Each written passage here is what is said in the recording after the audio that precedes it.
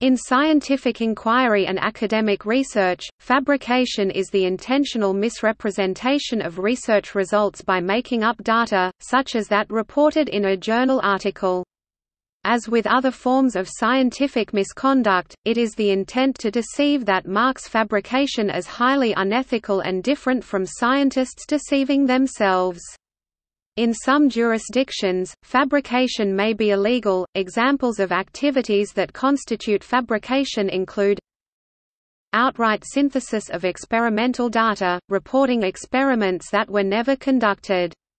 Sometimes referred to as drylabbing, fudging, massaging, or outright manufacture of experimental data. Some forms of unintentional academic incompetence or malpractice can be difficult to distinguish from intentional fabrication.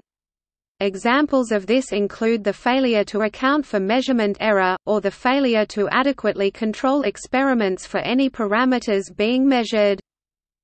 Fabrication can also occur in the context of undergraduate or graduate studies wherein a student fabricates a laboratory or homework assignment.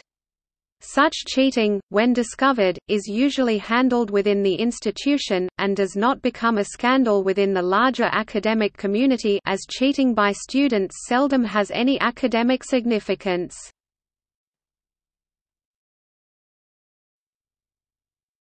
Topic: Consequences A finding that a scientist engaged in fabrication will often mean the end to his or her career as a researcher. Scientific misconduct is grounds for dismissal of tenured faculty, as well as for forfeiture of research grants. Given the tight-knit nature of many academic communities, and the high stakes involved, researchers who are found to have committed fabrication are often effectively and permanently blacklisted from the profession, with reputable research organizations and universities refusing to hire them, funding sources refusing to sponsor them or their work, and journals refusing to consider any of their articles for publication.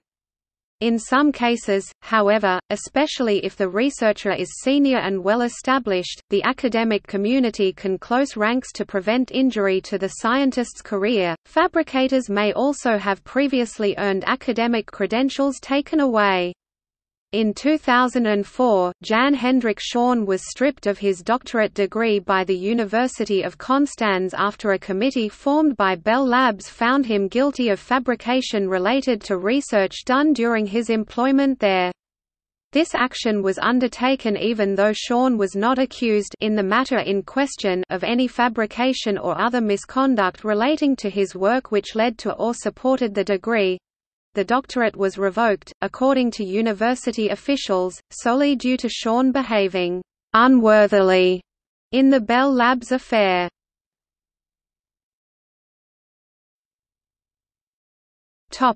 See also Retraction. Junk science